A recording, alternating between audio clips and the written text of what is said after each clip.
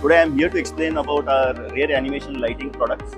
Herein today we are demonstrating a, a key product which highlights our multi-channel linear LED driver devices which is TPS 929240, TPS 929160 and these are backed by our uh, microcontroller series of devices. For example, we have used here MSP M0G3507. This essentially enables uh, a multi-LED solution wherein we are able to control each and every LED being lit up and hence able to accomplish a complete animated grill lighting solution.